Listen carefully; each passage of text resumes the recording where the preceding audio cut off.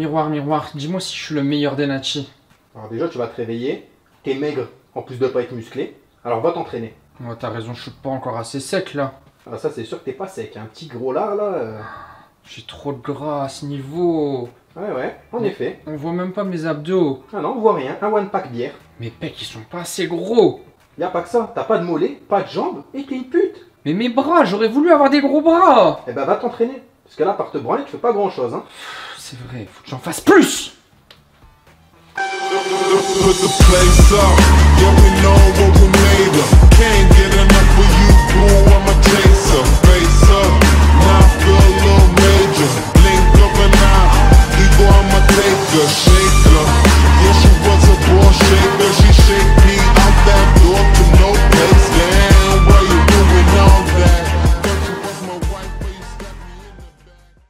Ok, salut les guerriers et bienvenue sur Fitness Fusion. Aujourd'hui, on va parler de nous, on va parler de vous, on va parler des go muscu De tous les go muscu. et des problèmes psychologiques que ce sport peut, peut Ouais. nous créer.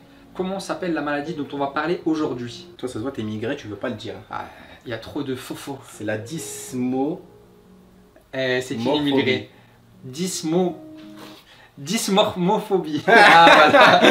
Les immigrés on, va, on va écorcher le mot plusieurs fois dans la vidéo, mais c'est de la... On va dire la dysmo. Non, dysmorphophobie. Dysmorphophobie. ça. Essayez de le dire dix fois chez vous, vous allez voir que c'est Dysmorphophobie, c'est pas facile. dysmorphophobie, ouais, non, ça va. Ah, pas mal, Dysmorphophobie. dans la bouche. Non, ouais, C'est un problème euh, qui est récurrent chez les go muscu. que chez eux d'ailleurs.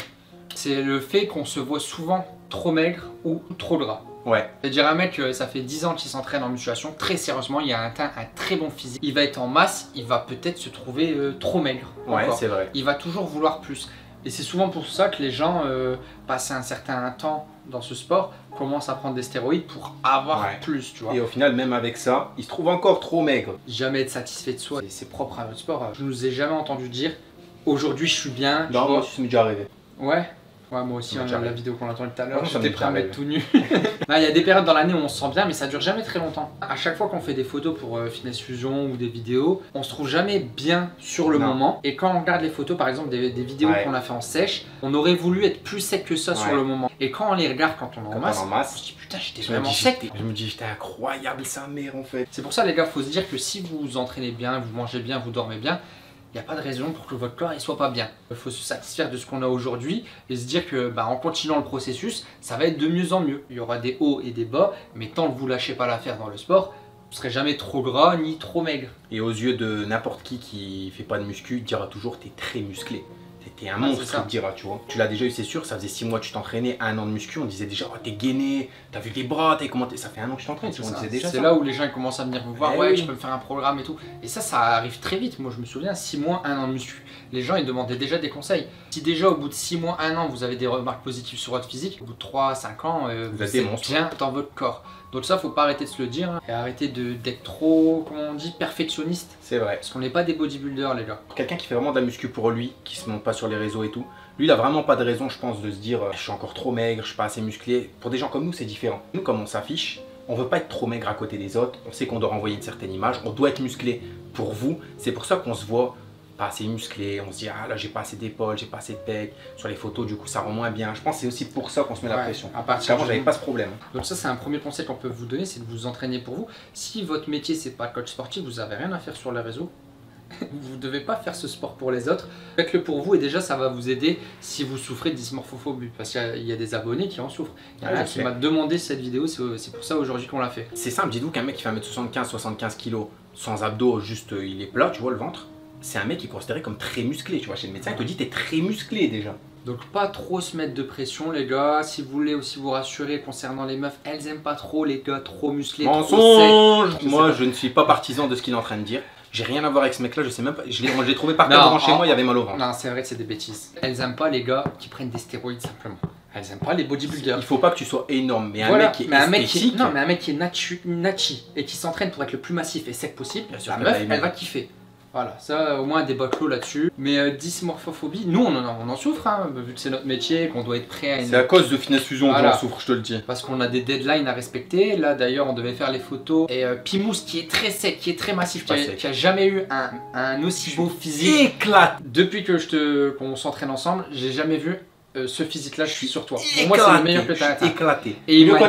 Il a osé me dire, je suis pas prêt, faut qu'on décale les photos. Je te jure, c'est vrai. Donc les gars, les PDF, on va avoir un peu de retard. Mais vous voyez, lui aussi, il en souffre.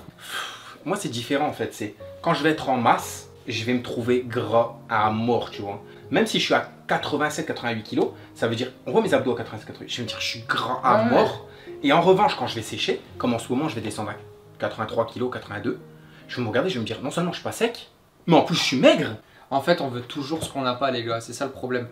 Alors que les choix, c'est toi qui les fais. Quand tu décides d'aller en masse, c'est toi qui le veux. Donc C'est moi qui fais le choix de prendre des gras. produits, c'est vrai, je suis Mais dans tous les cas, qu'il soit en sèche ou en masse, il a un très bon physique. Et dès qu'il enlève son t-shirt, euh, les meufs, les mecs, elles veulent tous euh, ce corps. Si t'as 5 personnes qui te disent non, t'es musclé, t'es très bien, contre votre avis à vous qui êtes tout seul, c'est que d'un côté, c'est peut-être les 5 personnes qui ont raison, tu vois. On sera jamais heureux, on est dans la merde. Vous êtes dans la merde, on voilà. est tous dans la merde. Si vous commencez la muscu aujourd'hui, dites-vous juste que vous allez changer pour obtenir votre, un Ouais. corps que vous n'aurez jamais. Et vous serez jamais satisfait du corps que vous aurez. À l'époque, je faisais du break, je faisais 72 kilos. Je me sentais mieux dans mon corps qu'à l'heure actuelle. Ça, c'est dû au fait qu'en muscu, bah, notre sport, c'est de tailler Ouais. son corps. Donc, on se regarde pour voir les résultats. C'est ça. En break, tu t'en fous, c'est juste la performance. La perf, et je me disais juste, si mon ventre il est plat, j'ai pas de poignée d'amour, les abdos on les voit légers, c'est Ouais. que je suis mince. J'ai pas besoin de plus, c'est tout. Je mets un t-shirt, ça fit bien. Donc là-dessus, le deuxième conseil, les gars, c'est d'éviter de se regarder au maximum. On n'a pas besoin de se regarder tous les jours. Ok, c'est important le miroir parce que c'est là où on voit les résultats. On voit si on a, on a bien travaillé les pelves, on a bien travaillé le dos, si ce qu'on a mis en place dans nos entraînements, ça fonctionne. Mais le fait de se regarder tous les jours, c'est ça qui va créer la C'est vrai. dysmorphie. En plus, ton physique il varie d'une journée à l'autre, rétention d'eau, etc. Donc euh, Voilà. c'est pas un truc à faire. Mais je continuerai de le faire. Tous les jours, je me réveille au petit matin, je fais Si devant le miroir. Et en dernier point qu'on peut aborder, Pimous, c'est de pas se comparer aux autres. Parce qu'on n'a pas le même corps. Forcément, vous, vous allez avoir des points forts, mais aussi des points faibles.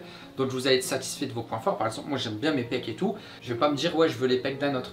Mais si je vais commencer à regarder l'autre et je vais voir qu'il a aussi des très bons ischios, c'est là où je vais commencer à me Ouais, dire, j'aimerais bien avoir ces ischios et tout. Moi, par exemple, je vois mes épaules, je me dis, j'aimerais bien avoir les siennes. Voilà. Mais c'est pas possible, je vais pas lui voler son épaule pour me l'emboîter, on n'est pas des Et Playmobil. du coup, il va commencer à regarder ses épaules, mes épaules, il va comparer, et c'est là où il va se dire Putain, mes épaules elles sont petites, ça. elles sont vraiment petites. Parce qu'il se compare à un mec qui a la génétique pour les épaules. Ou les bons produits. Oui, bon produit, ouais. Ça, je vous l'avouerai. hein, les. Et il sera pas bien dans sa tête, il va se dire mais pourquoi j'y arrive pas, je me donne à fond, il va augmenter ses entraînements, il va améliorer sa tête, il va se tuer pour avoir ses épaules, et il les aura jamais parce qu'il n'est pas fait pour ça. Ouais. Moi j'aurais jamais été mollet malheureusement, J'aurais jamais tes pecs. J'aurais jamais euh, tes fesses, C'est vrai aussi. J'aurais jamais tes épaules. j'aurais jamais ton dos. T'as déjà un très bon dos. Merci. mais je veux ton zizi aussi. Et on est cousins, donc c'est pas possible. Ah, c'est tout pour aujourd'hui les gars, j'espère que vous avez kiffé. Si vous voulez qu'on parle un peu plus de ça euh, en privé, n'hésitez pas à rejoindre le Discord, on vous répondra en DM tout ça. Euh, le lien il est dans les- la description. Il y a toute la communauté, les gars, on est bientôt 1000 sur Discord. Ils sont très actifs les gens.